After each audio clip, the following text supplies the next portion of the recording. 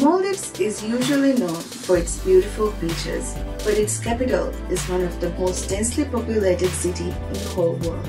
As the entire nation comes together to stop COVID-19 from spreading, at Ooredoo Maldives we step up with our support.